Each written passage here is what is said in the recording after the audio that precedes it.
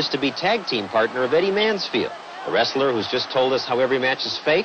I asked Schultz questions that I assume all wrestlers have been asked dozens of times. What? Is this a good business?